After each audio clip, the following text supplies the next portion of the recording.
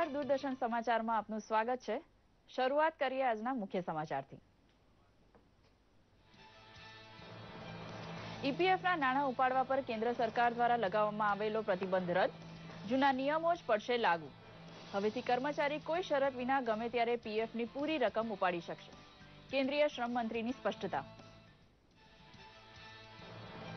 પ્રધાનમંત્રી મોદીએ કહ્યું, એકવીસમી સદીમાં ભારત પોતાની જ્ઞાન શક્તિ વડે દુનિયાનું નેતૃત્વ કરે તે દિવસ હવે દૂર નથી. જમ્મુ કાશ્મીરમાં હોસ્પિટલ લોકાર્પણ અને દીક્ષાંત પ્રવચન જેવા ભરચક કાર્યક્રમ દરમિયાન રાજ્યને આપ્યો મજબૂત વિકાસનો કોલ. કૃષિ મંત્રી રાધા મોહનસિંહે કહ્યું, આર્થિક વિકાસ વધે તેમ ખેતીવાડીનું અર્થતંત્રમાં યોગદાન ઘટે તેવી વૈશ્વિક ધારણા ગુજરાતે તોડી બતાવી છે. પરિણામે ગ્રામ ઉદયથી ભારત ઉદયનો રાહ ચીંધનાર પણ ગુજરાત જ છે.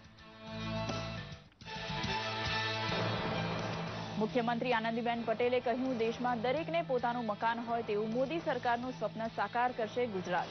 વડોદરામાં રૂપિયા એકસો ત્રેસઠ કરોડના ખર્ચે તૈયાર મકાનો સાથે બનેલા પંડિત દીનદયાળ ઉપાધ્યાય નગરનું મુખ્યમંત્રીએ કર્યું લોકાર્પણ. સમાચાર વિગતવાર જોઈએ. કેન્દ્રીય બજેટમાં કર્મચારી ભવિષ્ય નિધિમાંથી નાણાં ઉપાડવા પર આકરા નિયંત્રણો લાદ્યા બાદ કર્મચારીઓના ઉગ્ર વિરોધનો સામનો કરી રહેલી કેન્દ્ર સરકારે કર્મચારી અઠ્ઠાવન વર્ષનો ન થાય ત્યાં સુધી ઈપીએફમાં કર્મચારીના યોગદાનના ઉપાડ પર નિયંત્રણ લાદવાના પ્રસ્તાવને વધુ ત્રણ મહિના માટે સ્થગિત કરી દીધો હતો. ગઈ દસમી ફેબ્રુઆરીના રોજ જાહેર કરવામાં આવેલો પરિપત્ર પણ રદ કરી દેવામાં આવ્યો છે. ગઈકાલે પત્રકારો સાથેની વાતચીતમાં શ્રમ મંત્રીએ જણાવ્યું હતું કે ઈપીએફ પર વર્તમાન નિયમો જ લાગુ પડશે કર્મચારી ઈપીએફના નાણાં કોઈ પણ સમયે અને વિના શરતે ઉપાડી શકશે contribution of the employer. 12% can avail by employee at any time. Now this decision which I have taken will be ratified in the Central Board of Trustees. Samjhauta express વિસ્ફોટ મામલામાં એનઆઈએના મહાનિદેશક શરદ કુમારે ખુલાસો કરતા જણાવ્યું છે કે લેફ્ટનન્ટ કર્નલ પ્રસાદ પુરોહિત સામે કોઈ પુરાવા નથી, પરંતુ માલેગાંવ વિસ્ફોટમાં તેમની સામે તપાસ ચાલુ છે. તે ક્યાંય પણ આરોપી નથી. વર્ષ બે હજાર આઠમાં માલેગાંવ વિસ્ફોટની ઘટનામાં એઆઈએસ મુંબઈએ પુરોહિતની સામે આરોપપત્ર દાખલ કર્યું હતું અને આ મામલામાં એનઆઈએ તપાસ કરી રહી છે. એનઆઈએ દ્વારા સમજોતા વિસ્ફોટના મામલામાં આઠ લોકોની સામે આરોપ દાખલ કરવામાં આવ્યા છે. આ મામલો અઢાર ફેબ્રુઆરી બે હજાર હરિયાણાના પાણીપત પાસે અટારી એક્સપ્રેસ ટ્રેનમાં બોમ્બ વિસ્ફોટની સાથે સંબંધિત છે.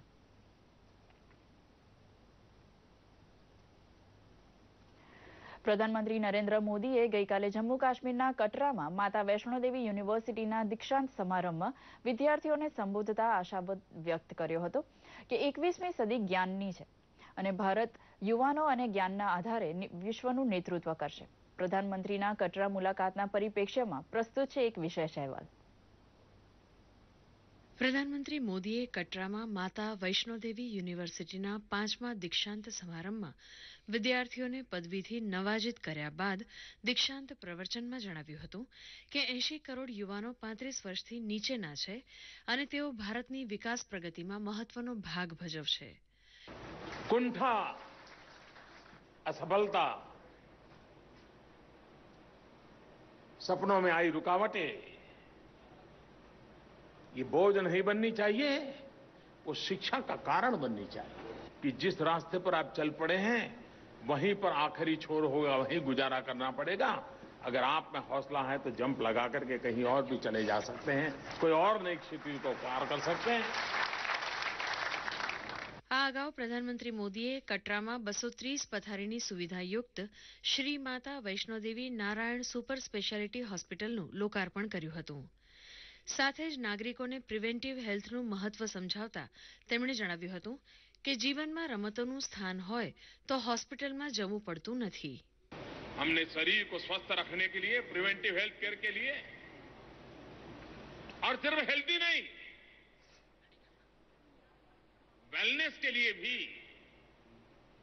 योगा का अपना योगदान है જીવનમાં રમત અને તેના થકી તંદુરસ્તી તેમજ શીખવા મળતા સ્પોર્ટ્સમેન સ્પિરિટના પાઠને કારણે આવતી સ્થિરતાનું મહત્વ ટાંકતા પ્રધાનમંત્રી મોદીએ એક સ્પોર્ટ્સ કોમ્પ્લેક્સને પણ ખુલ્લું મૂક્યું હતું તેમણે એવો આશાવાદ વ્યક્ત કર્યો હતો કે બે હજાર સત્તરમાં ભારત ફીફા અંડર સેવન્ટીનનું યજમાન બને ત્યારે આપણે એવું વાતાવરણ ઊભું કરવું છે જેથી વિશ્વ ભારતના યુવા સામર્થ્યની શક્તિનો અનુભવ કરે પ્રધાનમંત્રી મોદીએ મુફ્તી મોહમ્મદ સઈદ તથા વાજપેયીજીના સ્વપ્ન કાશ્મીરિયત ઇન્સાનિયત તથા જમહુરિયતને સાથે લઈને ચાલવાની વાત કરી હતી भारत सरकार पूरी ताकत के साथ जम्मू कश्मीर का भाग्य बदलने के लिए सरकार के साथ कंधे से कंधा मिलाकर के हर कदम पर आगे बढ़ते हुए જમ્મુ કશ્મીર કે નાગરિકો કે આશા આકાંક્ષાઓ કો પૂર્ણ કર રહા હૈ. મુખ્યમંત્રી મહેબૂબા મુફ્તીએ કહ્યું હતું કે મુફ્તી સાહેબ કહેતા હતા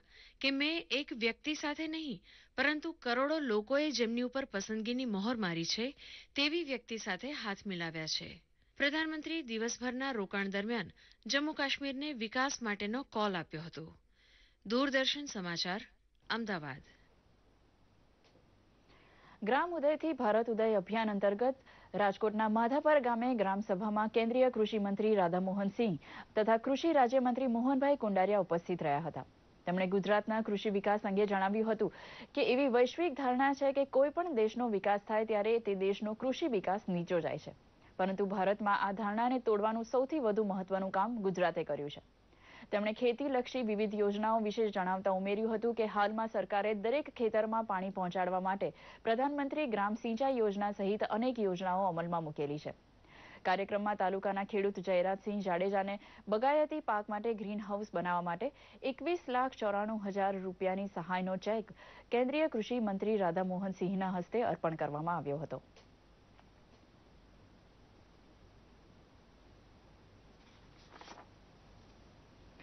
મુખ્યમંત્રી આનંદીબેન પટેલ દ્વારા પ્રધાનમંત્રી આદર્શ ગ્રામ યોજના અંતર્ગત દત્તક લેવાયેલા દસક્રોઈ તાલુકાના લીલાપુર ગામે અધિક મુખ્ય સચિવ અનિલ મુકીમની અધ્યક્ષતા હેઠળ ગ્રામસભા યોજાઈ હતી, જેમાં આરોગ્ય, શિક્ષણ, સ્વચ્છતા સહિતના મુદ્દાઓ પર ગ્રામજનોને અધિકારીઓ દ્વારા માર્ગદર્શન પૂરું પાડવામાં આવ્યું હતું. સચિવે લાઇબ્રેરીની મુલાકાત લઈ બાળકો સાથે શૈક્ષણિક સંવાદ સાધ્યો હતો. ગ્રામસભામાં ઉપસ્થિત રહેલા અનિલ મુકીમે જણાવ્યું હતું કે વિકાસલક્ષી પ્રવૃત્તિ સજાગતા સાથે સતત કરવામાં આવે તો તેના ધાર્યા પરિણામો મેળવી શકાય છે. ગ્રામસભામાં જિલ્લા વિકાસ અધિકારી, તાલુકા વિકાસ અધિકારી, સરપંચ સહિત મોટી સંખ્યામાં ગ્રામજનો ઉપસ્થિત રહ્યા હતા.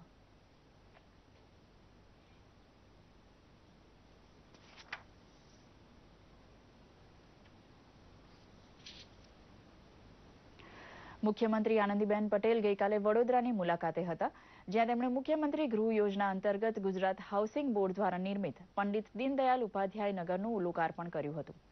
તરસાલી, માંજલપુર ખાતે હાઉસિંગ બોર્ડ દ્વારા રૂપિયા એકસો ત્રેસઠ કરોડના ખર્ચે બાંધવામાં આવેલા એલઆઈજી અને એમઆઈજી પ્રકારના એક હજાર બાણું આવાસોના લાભાર્થીઓને તેમણે મકાનની ચાવી આપી હતી.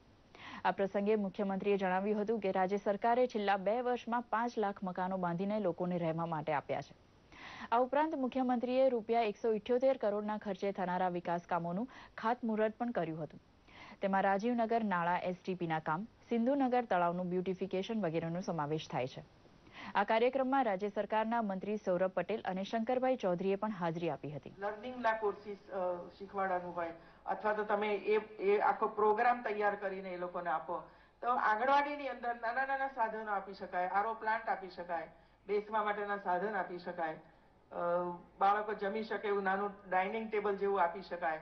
આવા અનેક છે જેમાં વીસ પચીસ હજાર રૂપિયાની અંદર તમે ઘણું બધું સુંદર કામ કરાવી શકો છો. અને પબ્લિક ઇન્વોલ્વમેન્ટ આની અંદર એ મૂળ મુદ્દો છે.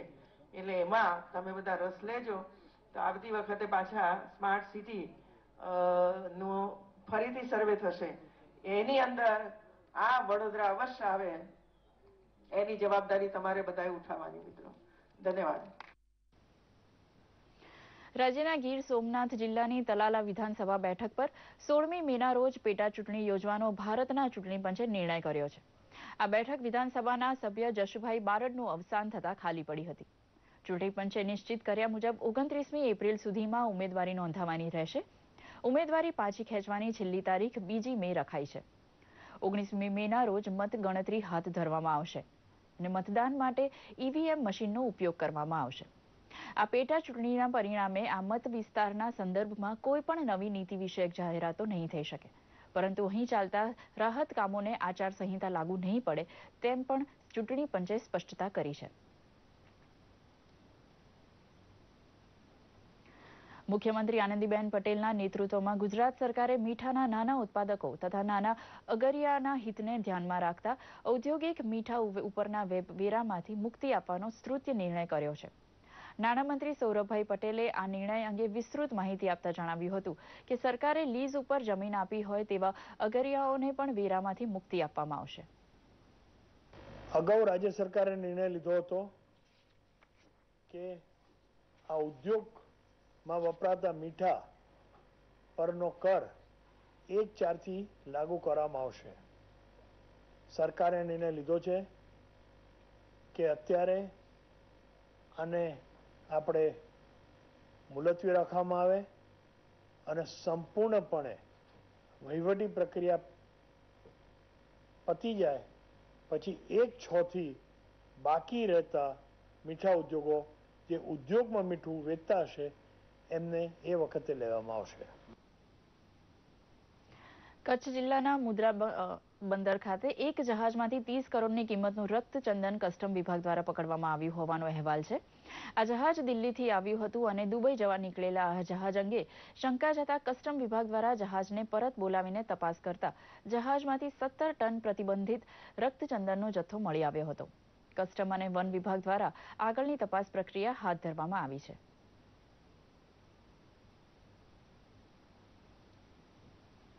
ગુજરાત સરકારે ગુજરાતી સિનેમા માટે જે પ્રોત્સાહક ફિલ્મ પોલિસીની જાહેરાત કરી છે તેના કારણે દર થોડા દિવસના અંતરે નવતર વિષય વસ્તુ ધરાવતી ગુજરાતી ફિલ્મની જાહેરાત થતી રહે છે.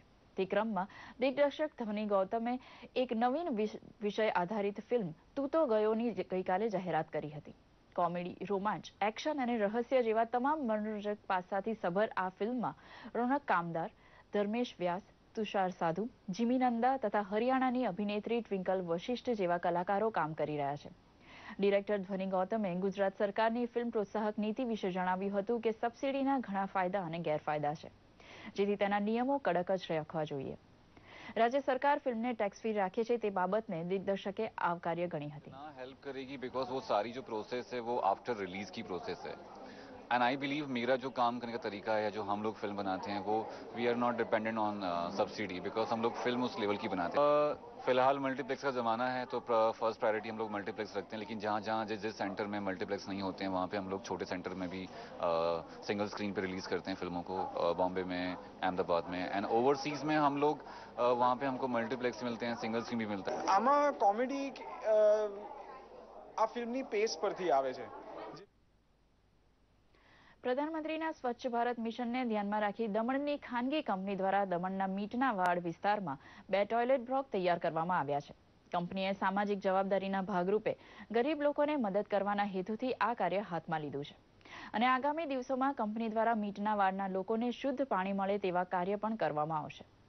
આ કંપનીના સહયોગથી તૈયાર કરવામાં આવેલ ટોયલેટ બ્લોકના ઉદ્ઘાટનમાં દમણ નગરપાલિકાના પ્રમુખ અનિલ તંડેલ સહિત અન્ય મહાનુભાવો ઉપસ્થિત રહ્યા હતા. સ્વચ્છ ઝુંબેશને સફળ બનાવવા માટે દમણમાંથી સરકારી તંત્રને કોર્પોરેટ ક્ષેત્રની મદદ મળતા નવા નવા પ્રોજેક્ટ હાથ ધરવાની ગુંજાયશ ઊભી થઈ છે. અમરેલી જિલ્લાના સાવરકુંડલાના ખેડૂતો એક સાથે બે પાક લઈને સારો નફો મેળવી રહ્યા છે. સાવરકુંડલા તાલુકાના સાકરપરા ગામે ટેકરાળ વિસ્તાર છે.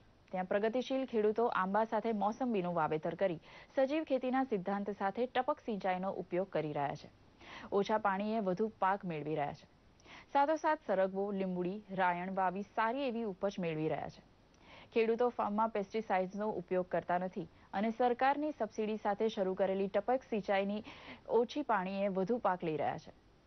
ખેતીવાડીમાં નવા જ્ઞાન અને ટેકનોલોજીનો ઉપયોગ કરવાની સમજણ ધીરે ધીરે ખેડૂતોમાં ફેલાતા સૌ સજીવન ખેતી તરફ વળવા જેટલો પ્રયોગશીલ બની રહ્યા છે. આ સાથે જ આ બુલેટિન અહીં સમાપ્ત કરીએ છીએ. નમસ્કાર.